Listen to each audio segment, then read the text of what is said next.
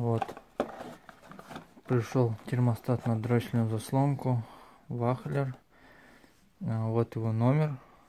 712900D. Made in Germany.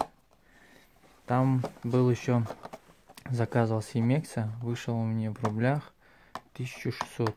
Также был оригинал за 300. Но лазя по драйву, там были, так сказать, записи о том, что даже приход... заказ, заказывали оригинал, приходил точно в такой же упаковке вахлер. А сейчас вот на Емехе пишется то, что вот за 1600 оригинал, я не помню почему, а BMW там пишется типа аналог.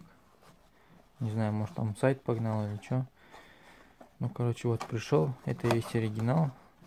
Почему он дешевле, так сказать, чем BMW-шный? Потому что если заказывать оригинал, тут будет написано BMW и номерок. И все. Тут он стерт у нас, как видно. И написан только вот Вахлер. Вот на этот клапан приходит с двигателя, а отсюда уже идет на дроссельную заслонку. Я не знаю, видно, там сейчас не будет. Там пружинка стоит. И такая типа открывающаяся. Вот тут резиночка стоит. Ну, не легкий, но и не тяжелый. Средний вес. Вот здесь в основном весь вес. Маленький. Я думал побольше будет, но оказывается вот он вот такой. Совсем мелкий. Так что вот при как сказать открывании, закрывании об этом ничего не могу найти. Кто-то говорит плюс там при плюсовой плюс 5, плюс 10 он закрывается. Кто-то говорит свыше 20 он закрывается. Но эффект, э, я же буду только летом искать, если чисто летом, то эффективно. Чтобы дроссельная заслонка, у нас в основном всегда жара. Меньше 30 не бывает. Только когда дожди идут и все, и то редко. Так, что у нас по BMW сделано? Подключил вентилятор. Сейчас об этом поподробнее. Потом поставил термостат на дроссельную заслонку. Вот он. Получается, вот первый патрубок справа с двигателя идет. И шланг надо будет менять, потому что с, двигателя на термостат не доходит только до дросселя. Шланг поменял. И вот второй патрубок, он уже идет в дроссельную заслонку. Взял вахлер, снизу напишу номер ставится он воздушный короб вот здесь снизу. От закрытия открытия. Ну закрытие кажется блин не знаю везде пишется по-разному от 20 до 25 градусов. Так электровентилятор покупал на AGS вот он как встал. Вот не знаю посмотрим будет он справляться нет. Если еще на примете потом взять от 46 двухскоростной тут одна скоростной вот фишки вот все проведено в гофре. И все я положил вот сюда. А релишка получается вот такая советская 70 ампер и предохранитель на 40 ампер провода вот который идет на вентилятор толщина 4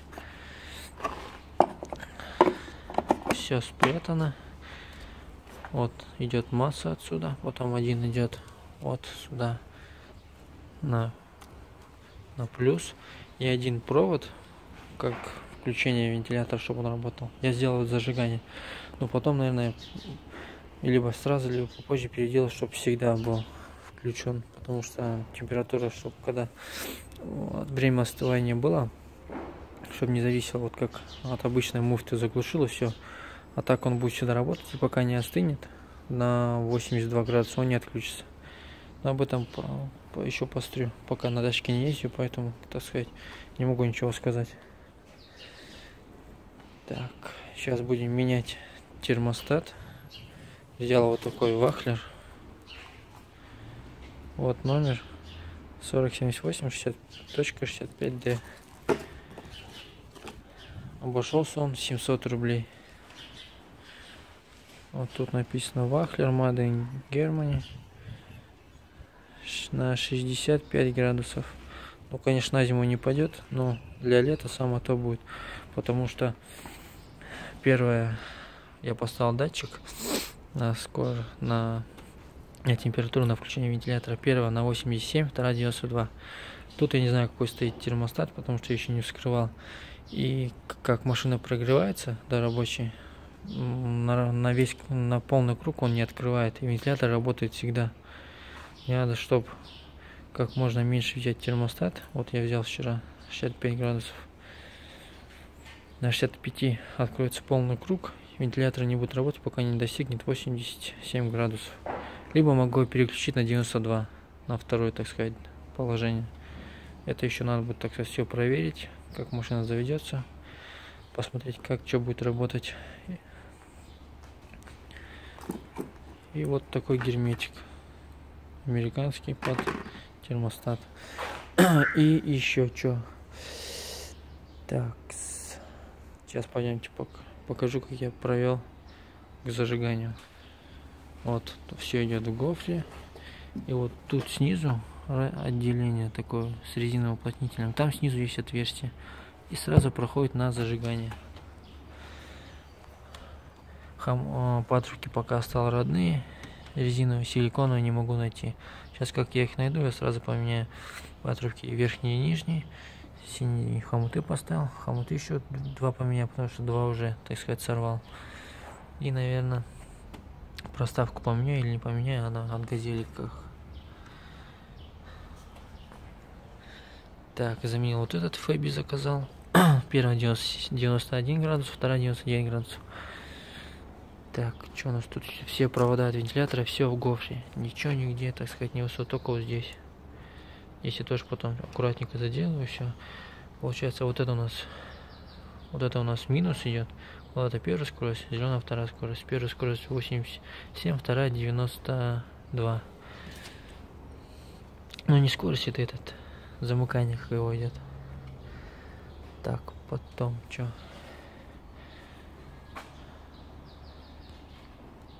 А, и сделал, чтобы температура двигателя показывалась на приборке. Сейчас покажу как.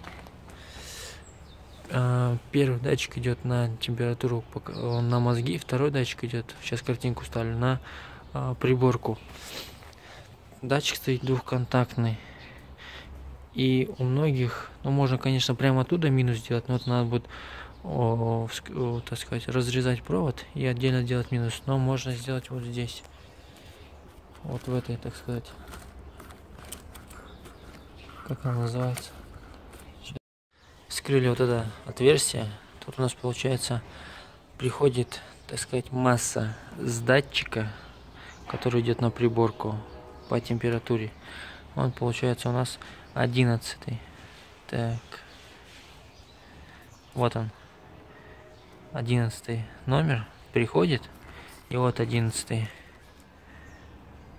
13, 12, 11. И его дальше нет. Получается масса не идет на, на датчик. Поэтому сюда проводим либо провод, либо можно такую же поставить заглушку, чтобы она входила сюда. Либо вот здесь разрезать провод он получается идет коричнево-желтым. И прямо отсюда провести на кузов. Либо как-нибудь другими аккуратными путями. Я пока ставил туда. Ну, на днях проведу либо снизу сделаю вот такую заглушку, либо аккуратно сюда врежусь в этот провод и проведу в общую вот сюда в массу. Так что если не, показывает приборка на датчик на приборке температуры, либо там если двухконтактный, значит вот здесь приходит масса и отсюда она никуда не деется. Значит в этой схеме нет массы. 11 получается. Ссылку на подробное описание я скину. Получается 11. Либо одноконтактный. Прям там можно будет прямо оттуда на массу пустить тоже. Ну, либо уже датчик там сдох, если вот это ничего не поможет. Так, сейчас будем менять термостат. Снимаем. У кого-то здесь муфта. Вот там эти стоят диффузоры. Они снимают диффузор. Муфту многие снимают, но можно не снимать ее. Поищите ссылки на драйве, есть там все описание. верхний патрубок снимаю. Сейчас сниму нижний, отодвину его. Полностью снимать не буду, потому что антифриз. Антифриз я уже несколько раз воду сюда не заливаю. При каждом слитии и разлитии антифриза заливается только антифриз. Никакой воды. Так, сколько у нас тут креплений? Раз, два, три, четыре шпильки стоят, ну, болта. Сейчас мы их открутим и вытащим наш, так сказать, корпус термостата. Он у нас алюминиевый. Так что продолжаем. Так, вот открутил нижний патрубок, снимать его полностью не стал. Тут антифриз у нас. Начинаем откручивать крышку термостата. Получается, вот этот болт у нас идет на 14. И вот остальных три также по, так сказать, по плоскости, по диагонали. На таком же промежутке только снизу на 10. 1, 14 и раз, два, три на 10. И также еще придется открутить. Вот тут у нас получается такая пластмасска. Вот так она стоит. Это у нас идет датчик на коленвал. Его откручиваем. Даже без него этот болт, ну как-то можно, но лучше снять, потому что не пролазит трещотку. Так что снимаем дальше. Так, вот снял, получается, крышку термостата алюминиевая. Вот тут чуть ржавчина. Сейчас попробую зачистить ее. Крепится вот до 4 болта. 3 на 10, 1 на 14. БМВшная. Так что у кого стоит пластмасса, ставим алюминиевый. И вот то, что меня удивило.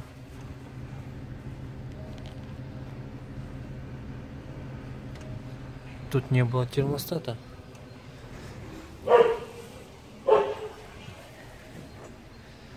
Так что не знаю, что в чем, но надо будет смотреть, потому что нижний патрубок был холодный, а вент сработал на 87. Будем думать. Сейчас поставим. А сначала зачищу от ржавчины. Зачищу вот эту окантовочку. Потом там уберу весь лишний герметик. Что как сделать? Вот, тут полностью все счистил.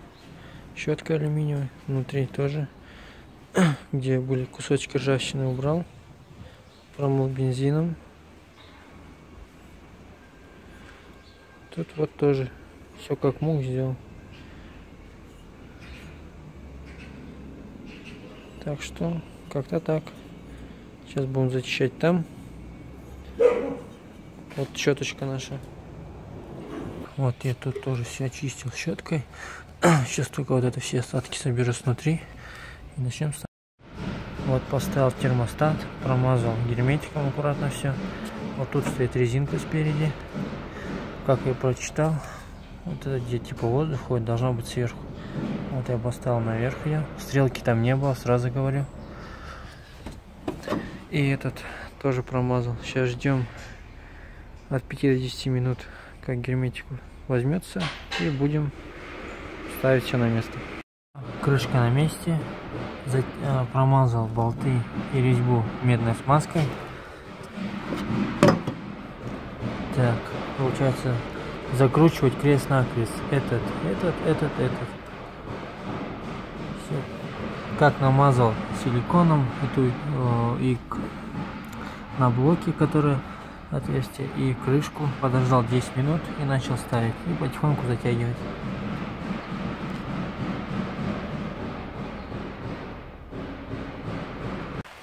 Так, вот эту приблуду искал, наверное, ну, ну в течение недели нашел. А то у всех была под откос подрезанная. Для чего нашел? Чтобы сделать массу на приборку, чтобы не колходить, чтобы вот эту голф, вот эту защитную тут не прорывать, чтобы провод не резать здесь. Нашел специально вот эту. Сейчас вытащу, вытащил уже пины. Сейчас один вот, вот черно-желтый, который на старте вроде идет. Я его сейчас заберу себе на массу, на приборку аккуратно ставим снизу массу проведем вот на кузов и все будет тип-топ все красиво ничего нигде не подрезано Так, провод мы вытащили. Сейчас будем аккуратненько его в пин вставлять в 11. И будет у нас масса на приборку. И будет показывать у нас датчик температуры. Все, датчик... Ой, точнее вот этот пин я поставил. Так, вот он получается, 11 пин. Вот на него масса пойдет на приборку на датчик температуры. И все у нас заработает без какого-либо надреза сверху колхоза. Это тоже я уберу это потом решу. Это у меня почему-то, я не знаю, я уже взял такую машину. Он на стартер тут шел. Там снизу вот пин есть, он выходит. Но почему вот именно, так сказать, отсюда не сделали, я не знаю. Буду потом смотреть. Так, домкрата у меня сейчас не было. Старые два сломались. Снимать кулису пришлось вот отсюда как это происходило. Вот вся рука, так сказать, вот от этого угла поцарапанная. Вот эта сама, она у меня спереди шаталась. Ее просто, я не знаю, может, или вот эту вот не поставили, или что. Просто когда коробку ставили, меня там не было. Ее уж поставили, машину опустили, я ее через два дня забрал. Вот что значит не уследил. Вот это может быть не поставили. Либо ее просто вот так сказать не закрепили. Потому что когда я кулиса у меня вообще вот так ходила. Прям вот до этих боков доходила. И скоростя вообще не было понятно. Последняя, вторая вот сюда вниз куда-то. Первая вон туда. И очень жестко было. Ее вообще шатало во все стороны. Получается вот такой сейчас люфт у нас. Увидите. Так, сейчас покажем.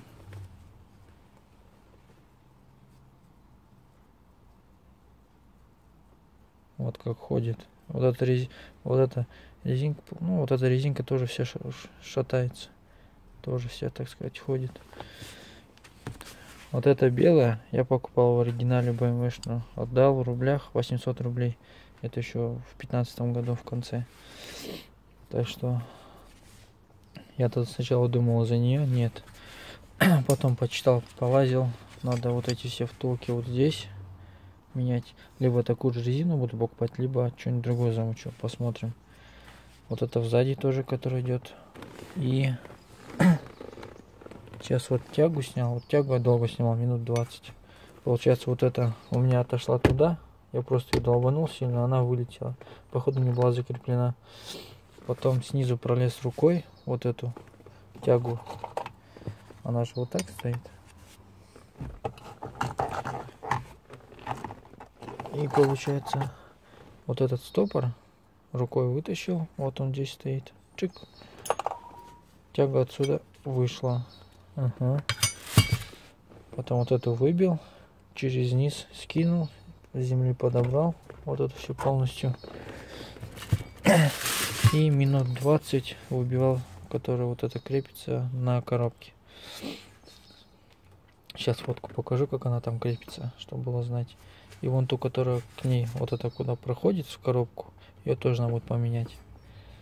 Так что вот полчаса времени я отсюда снял кулису. Нереально тоже думал но из-за того, что эта тяга не была затянута, слетела, и все остальное, так сказать, было уже легко. И вот это, думаю, либо найти целую бушну, либо посмотреть, сколько стоит оригинал. Вот тут какой-то номер 1 220 185 и снизу 88 89 88 не знаю это ее цифры нет так что вот такие дела. Сейчас будем заниматься кулисой, чтобы не было люфта вообще. И вот по этой, то, что он тут сварено, ничего такого. Или поменять лучше. Так, всем здорово. Сегодня, получается, забрал патрубок от друга с КЗЛД, за что ему отдельное спасибо. Так, получается, патрубок забрал. Теперь смотрите, вот эта часть стоит вот на эти шпильки. Вот они идут. У меня они стоят, у кого-то их нет. Придется самим сверлить и вставить. Они у меня уже были. Вот тут завода уже есть. Вот это отверстие, это получается вентилятор нагоняет в нижний корпус, там будет дырка. Тоже потом чуть позже покажу. Воздух салона и выгоняет его через этот патрубок который вот стоит, так сказать, вот так, на эти шпильки и вот туда.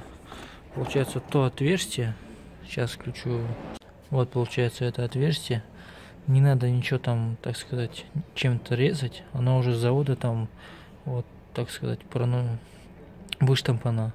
Надо будет только вот по центру и по углам хорошо чем-нибудь долбануть. Я вот взял, сверху молоточком потихонечку и она уже почти, так сказать, отошла. Там уже ковролан лежит. Так.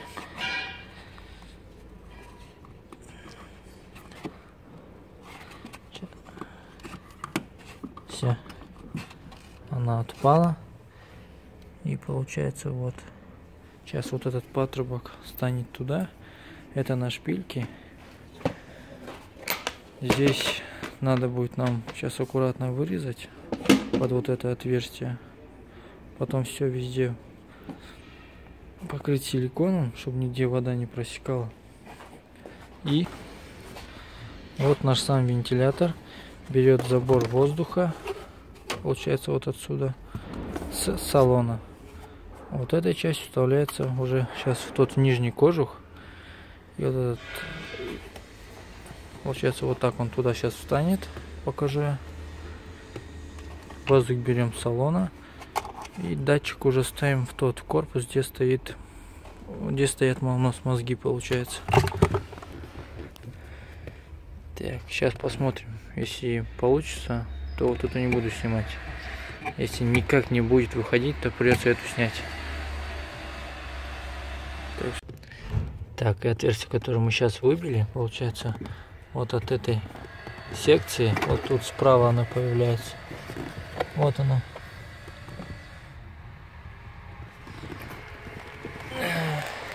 Теперь остается только сейчас достану мозги. Вот тут шумку отковыряю. Надо вот тут, которое отверстие круг, круглое есть, выходит к мозгам. Его тоже выбить и вставлять уже наш охлаждитель мозгов. Погнали. Получается датчик на срабатывание вентилятора вставляется вот сюда. Тут вот такая заглушка была. Резьба уже нарезана, все есть. Просто вставляем датчик, подключаем и все. Зажигание вот тут. Плюс отсюда берем и все. С датчиком пока еще не определился, какой поставить, насколько точно инфы еще не нашел. Чуть попозже это. Вот, вот тут видно заглушку, которая идет. Видите?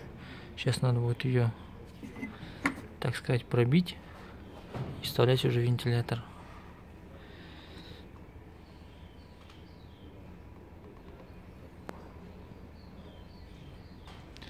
Но вот на эту заглушку нам еще нужна будет, так сказать, резиновое кольцо, уплотнитель. Вот с этим пока беда. Может надо будет его искать. Этим еще не занимался. В нижнем коробе, получается, где идет э, входное отверстие воздуха, пробиваем круг молотком по границе круга, выбиваем его, получается. Выбивается нелегко, минут 15-20 потратил, чтобы не сломать весь корпус. Выбил, все хорошо. Тут слева у нас идет отверстие под с резьбой уже под датчик включения вентилятора. С какой температуры еще не узнал. Ну вот и все.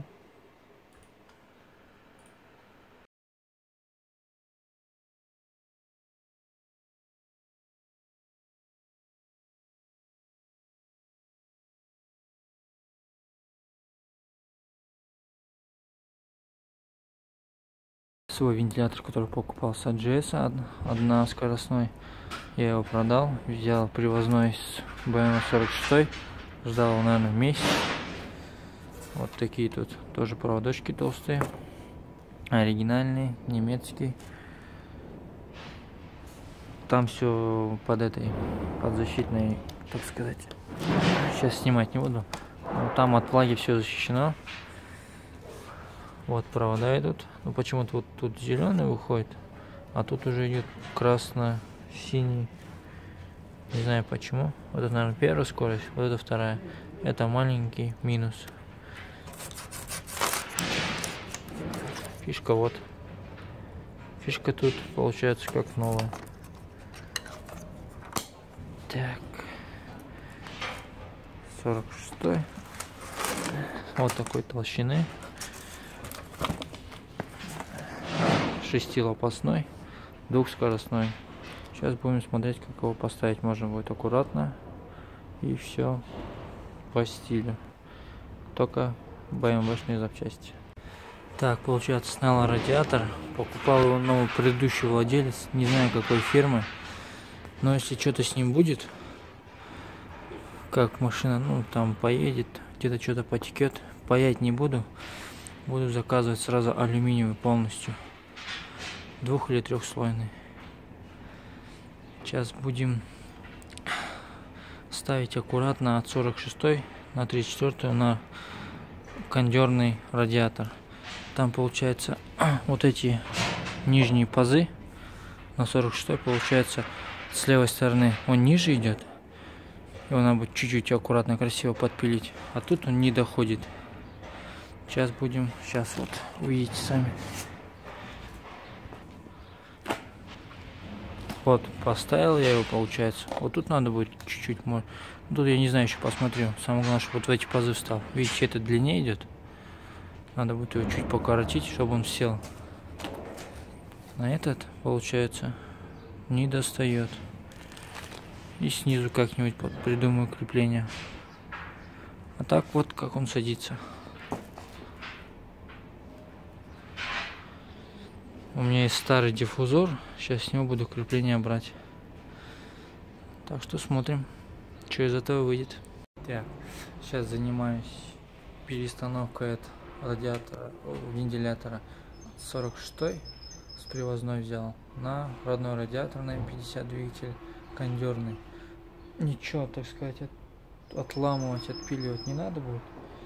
Сейчас покажу в чем, так сказать, маленький минус. Так, получается, надо будет сделать вот здесь, где кончается на так сказать, заглушку, которая вставляется сюда. Вот, короче, надо заглушки сделать влево и вправо. Тут они есть, но они тут уже, и она длиннее идет. А тут, так сказать, шире, но не доходит. Поэтому, чтобы ничего не отламывать, у меня был диффузор сломанный, но заглушки все целые. Я заглушки все аккуратно отрезал и на двухкомпонентный клей все посадил. Вот нижняя заглушка получается, верхняя. Тут получается верхняя, нижней тут нет. Тут вот на угол идет. Вот это тоже доходит, но сейчас уже меньше. Сейчас тут тоже что-нибудь сделаем. Потом сверху вот на эти я не буду садить. Вот здесь аккуратно маленькие дырочки. И на болты, которые есть уже отверстие в радиаторе. Так что вот так. Так, все, получается поставил от 46 на 34 на двигателем 50 ну, двигатель с двигателем 50 радиатор кондерный так резать мне пришлось. Ну можно не резать но сильный сгиб будет. Вот тут кусочек маленький вот видите. Он получается вот так прямо шел и вот это под изгиб шла. Так вот здесь вот родная ничего не отрезал. Вот тут маленький который загибчик идет я срезал оттуда со старого диффузора. Вот, эту, вот этот паз срезал со старого диффузора и посадил на двухконтактный клей. Снизу получается вот эта родная заходит но не так плотно. Получается я сверху наклеил еще одну.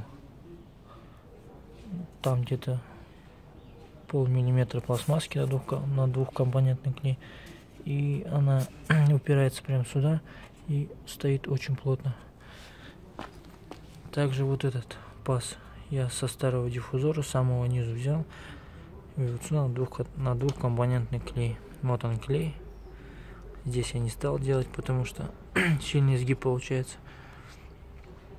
Ну и сверху вот на два болта. Держится он очень крепко.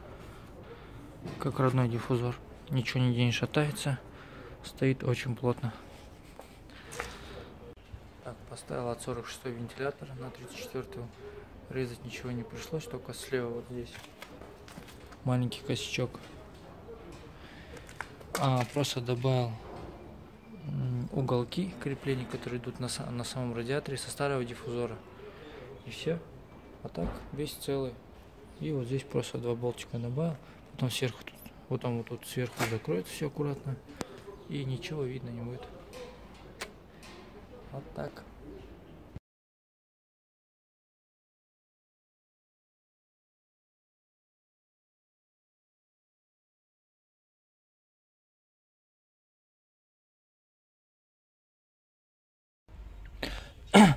Так, короче, сейчас мы устанавливаем амортизатор бардачка.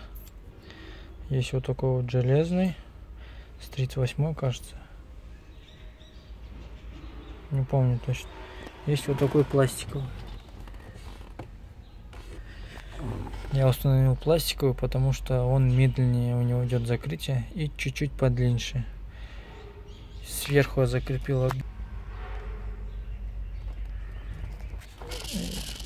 Можем просто было что-нибудь болтик, чтобы шаталось, но я сделал так, чтобы он ровно стоял и не было никаких колебаний.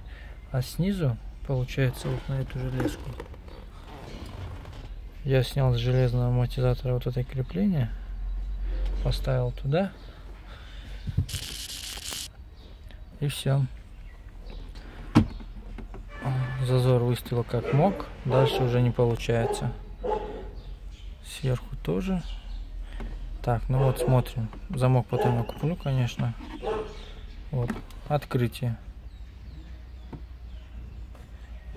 Медленно, аккуратно и красиво.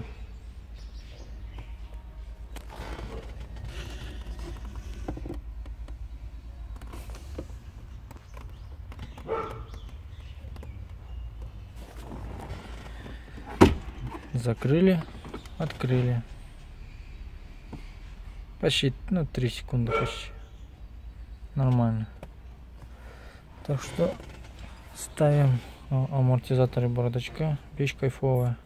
Сейчас чуть позже замок куплю. Тогда еще раз посмотрим как.